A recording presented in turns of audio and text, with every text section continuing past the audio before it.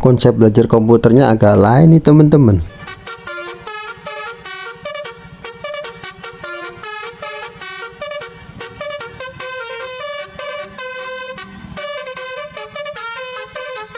Wah kalau konsepnya kayak gini semua orang juga mau ya.